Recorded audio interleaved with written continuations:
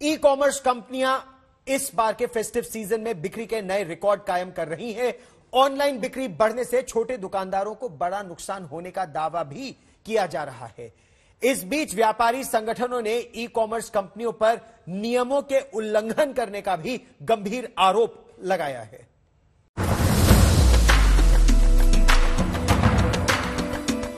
इस बार के festive season में त्योहारी बिक्री नए रिकॉर्ड बना रही है।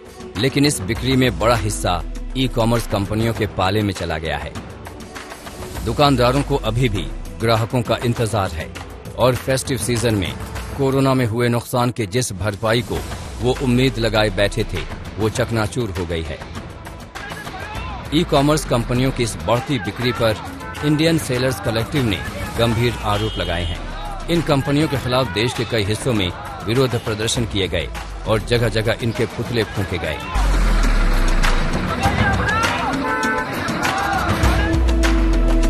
दरअसल, इस बार के फेस्टिव सीज़न में ई कॉमर्स कंपनियों की वजह से छोटे दुकानदारों को हर महीने 30 से 40 परसेंट तक का नुकसान होने की आशंका जताई जा रही है। पिछले कुछ वर्षों से जिस तरह से ई कॉमर्स सेक्टर ने तेज़ी से अपनी पैठ बनाई है, उससे कई दुकानदारों ने तो अपना दुकान बंद करने का मन बना लिया है। सर्वे में दावा किया गया है कि इस साल के आखिर तक ई कॉमर्स कंपनियों का कारोबार बढ़कर पाँच लाख इक्कीस हज़ार करोड़ रुपए का हो जाएगा। लेकिन इस कारोबार की बढ़ोतरी पर रिटेलर्स गंभीर आरोप लगा रहे हैं। उनका कहना है कि ई कॉमर्स कंपनियाँ अपने प्लेटफॉर्म पर सबसे ज़्यादा बिकने वाले उत्पादों को ट्रैक करती हैं। फिर ये ऑनलाइन मार्केट प्लेस वैसे ही प्रोडक्ट की नकल करके उसे कम कीमत पर अपने ब्रांड के तहत लॉन्च करके बेचते हैं। फिर ये सर्च में गड़बड़ी करके उन्हें अपने प्लेटफॉर्म्स पर खुद की प्रोडक्ट लाइन की तरफ़ लाते हैं।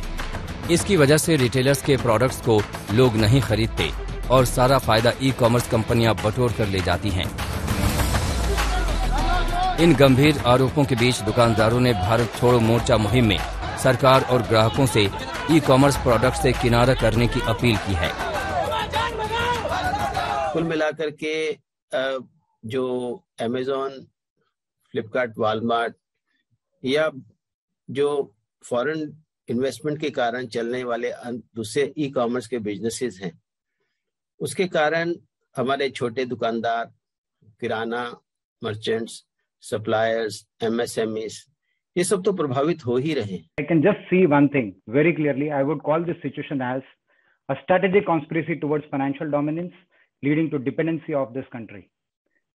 Know, this is nothing more but then uh, a new age East India इसके साथ ही दुकानदारों का आरोप है कि ये कंपनियाँ जिन प्रोडक्ट्स को खुद नहीं बना रही हैं, उनमें अपने पसंदीदा डीलर्स का सामान बेचने के लिए सर्च में हेरा फेरी करती हैं।